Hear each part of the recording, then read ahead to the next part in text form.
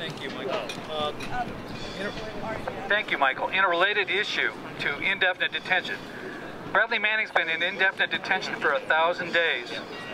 There is provision in our law now that will allow the government to detain any of us for indefinitely.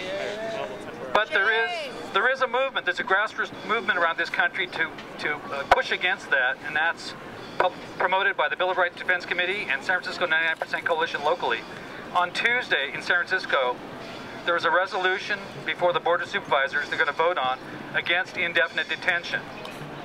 And it's it's something that we can all support. So if you want to support that, come to the San Francisco Board of Supervisors Tuesday the 26th, about 4 o'clock, and you can be a part of making San Francisco the 18th city in this country to vote against the indefinite detention provisions of the NDAA.